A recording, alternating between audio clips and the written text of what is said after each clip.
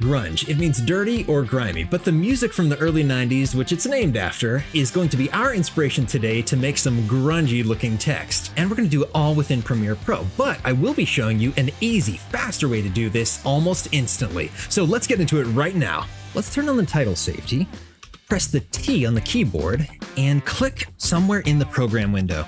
Type in the word grunge, grab one of the handlebars, and increase the scale. Let's stick it somewhere in the middle.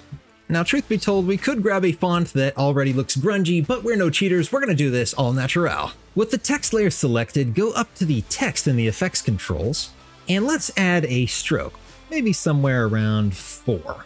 With the text adjusted, let's go ahead and, and right click on the text layer, go to Nest, and let's type in Grunge Nest.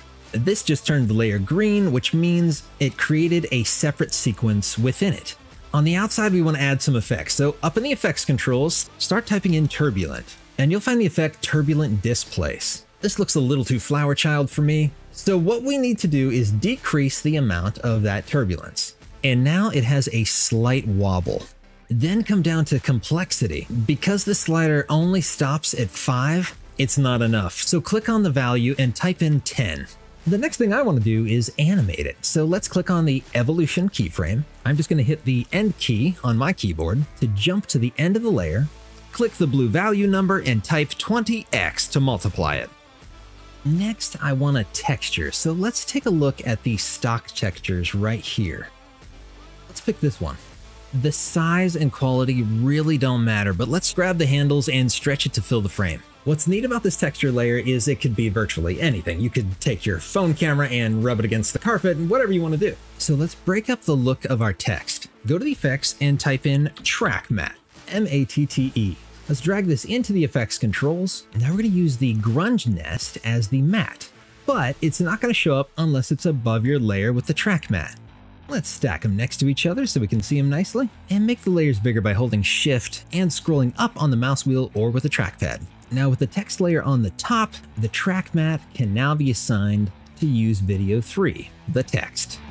Alright, grunge. Now don't get me wrong, for those of you who have never done this before, that's a pretty cool trick, but we can make it look even more a part of that background and in the environment. So just to orient us, the layer that's the grunge nest on top is now serving as a cutout shape, kind of like a stencil. And the most we can do in here is adjust the effects of the shape or the motion controls like position.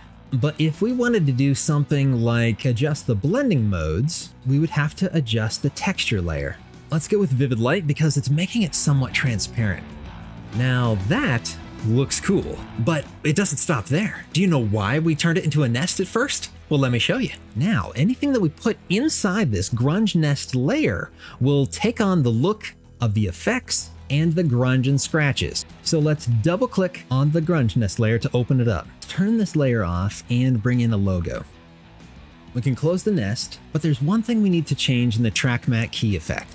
Instead of compositing using a matte alpha, select matte luma. This way the track matte key will see the different shades that are in the logo. Yes, this is highly satisfying, but just imagine if we took that grunge texture layer and turned that into a nest. First things first, with the texture layer selected, we're going to steal this track matte key by going Command or Control X to cut it.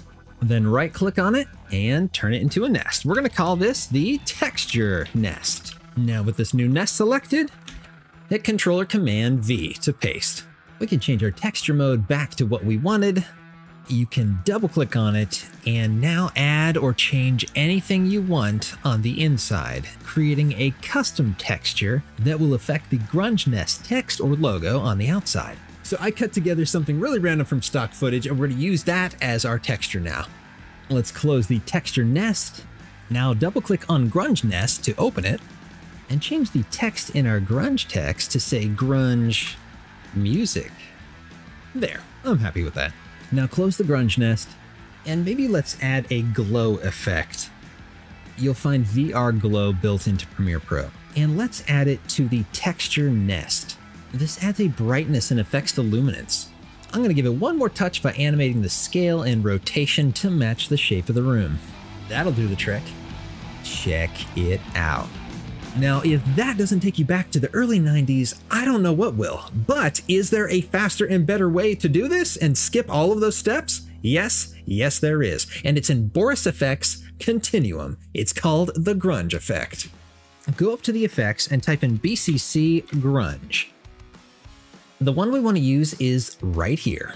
But before we add it, because this effect works so well on nested layers, we're going to prepare this nested layer by turning off the turbulent displace, resetting the motion, and turning off the texture nest. Now let's add BCC Grunge to that top text layer, and bam, look how easy that is. And check it out, right here under textures, you can just scroll through the different kinds of textures. Admittedly, that blew my mind a little bit. That is a fantastic little feature to have, but wait till you see the effects browser.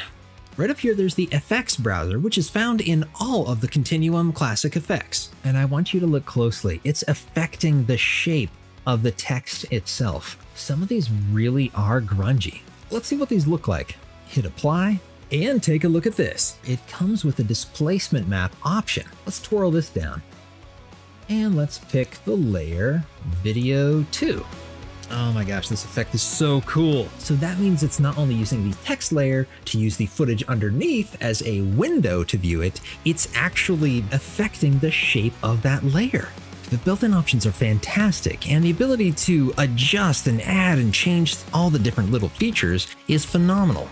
So clearly this is the easiest way to pull off this look. I have no doubt about it. And what's great is there is a free trial waiting for you over at borisfx.com. Go to the Continuum page, download your free trial right now. You can, you can start rocking and rolling along with me. My name is Zak Ciotti for Boris FX. Thank you for watching.